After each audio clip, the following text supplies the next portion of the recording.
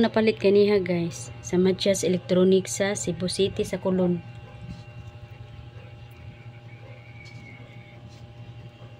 Ini yung trabaho unugma. Mm. Bagi mo siya baffles guys. Yan ako na sa kuan, anak.